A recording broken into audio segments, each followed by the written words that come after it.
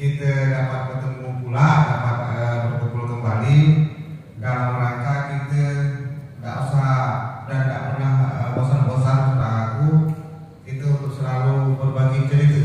Eh. Jadi aku di mana-mana menyampaikan jangan diposisikan aku dalam bahasa sebagai narasumber akan sulit nanti kita beradaptasi. Tapi uh, biasakanlah kita ini berbagi cerita. Karena apa? Karena kalau kita ada batasan-batasan kadang-kadang susah ini. Maksud aku, ketika nanti dalam penyampaian, karena pada hari ini kita harus lebih berbeda terkait yang namanya pengembangan desa wisata dan komunitas. Sudah saatnya kawan-kawan semua desa wisata yang ada di Belitung, termasuk komunitas, menikmati apa yang sudah kami nikmati. Dan itu bukan hanya di kesempatan yang sangat formal seperti ini, tapi di obrolan-obrolan yang semi informal bahkan informal full selalu saya sampaikan, yuk kita sama-sama. Dan aku selalu menyampaikan dakwah kepada kawan-kawan, kalau berbicara potensi alam, Sorong itu tidak ada apa-apa dengan desa kawan-kawan. Baik Sungai Padang misalnya, eh, Batu Mentas, Desa Badau, Desa Ibul gitu kan, Desa Tanjung Rusak, Simpang Rusak, tidak ada apa-apa semua. Nah, coba kembali kepada tata kelola dan SDM. Iya, Itu betul. yang saya sampaikan. Tadi aku sudah berbicara singkat dengan Bu Francisca bahwa sampai Desember 2021 ini minimal harus ada lima desa yang siap take off untuk 2022. Karena apa? Karena aku sebut tadi rasa ini kawan-kawan itu menikmati apa yang kami desa harus kita menikmati sekarang ini. Tidak usah syukur lah, kita tahu lah bahasa seperti itu gitu kan. Rugi. Masa sih tidak ada semangat?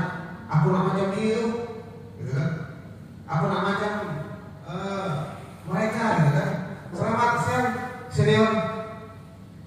Mudah-mudahan tetap sehat. Nah, ini itu dua kawan baju merah. Dia banyak banyak apa pemula atau baju merah. Ya, izin Pak Bino ya. Kalau kita mulai itu, belum sampai sini namanya. Ayah pas juga dia mampu merah ya, dari kenyang baru di sana. Jadi cerita jam ini bukan dia mampu sebulan. Gara-gara orang rumah melihat peranakan, nak pernah dua SMP, bahasa dikeji dulu dia dia dia kalau merah. Tahu-tahu aku pas kalau dua pulang dua SMP lah mampu. Nggak tahu kalau ini, anak nggak juga. Jadi tidak anak itu eh. Bapak Anda.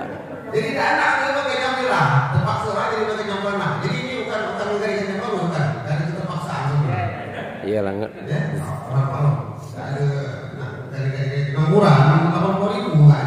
Tidak ada aja mahal. Nah jadi itu. Jadi semangat kita pada hari ini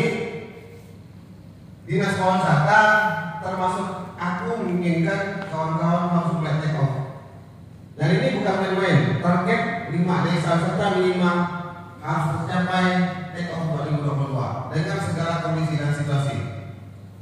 Dinas pariwisata tidak akan menentukan dan tidak akan merekayasa desa A, B, C, D.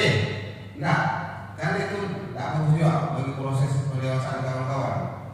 Kemudian aja muncul sesuai dengan kapasitas kemampuan keinginan dan semangat kawan-kawan. Itu maksudnya.